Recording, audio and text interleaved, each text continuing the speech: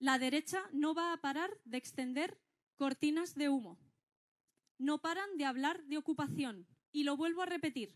España no tiene un problema de ocupación, tiene un problema de especulación. Y hay que decirlo claro. Lo único que quieren, extendiendo esta cortina de humo sobre la ocupación, es aumentar las ventas de las empresas de alarmas, como Securitas Direct, que ha ampliado las ventas un 80%.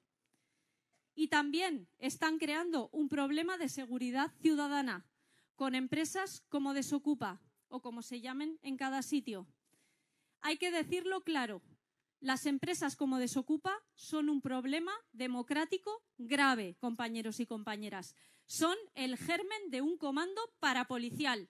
Son el germen de un comando parapolicial.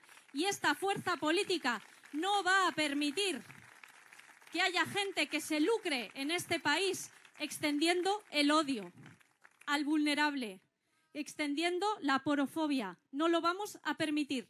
Así que os anuncio que mañana en el Congreso de los Diputados vamos a registrar una ley para perseguir penalmente a esa gentuza que se lucra persiguiendo a los vulnerables.